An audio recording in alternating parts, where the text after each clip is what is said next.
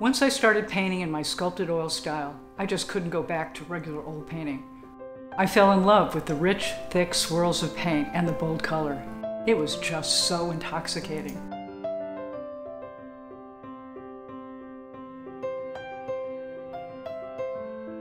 After graduating from art school, I moved to New York City. It was such an exciting time to be there. The East Village art scene was just exploding.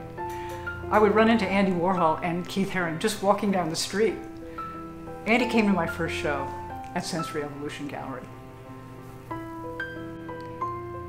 I was painting Crayola boxes, comic book covers, animal crackers, Dick, Jane, and Sally scenes. I was drawing on memories from my childhood and images of what was around me every day.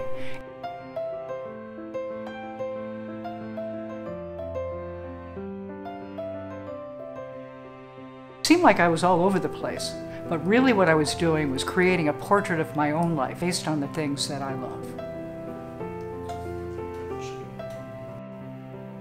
One day I woke up and said, hey, it might really be cool to do this with other people. Make portraits not just sitting or standing around, but capturing what makes them unique, their memories, that makes them special. I started calling them life portraits.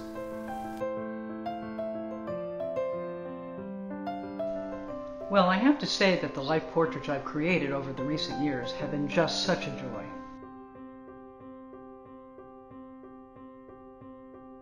Here I am in front of my wall of fame, as I like to call it. A few years ago, I started printing out JPEGs of the portraits and putting them up on the wall. It's such a great feeling to walk into my studio in the morning and see all these wonderful people that I've gotten to know.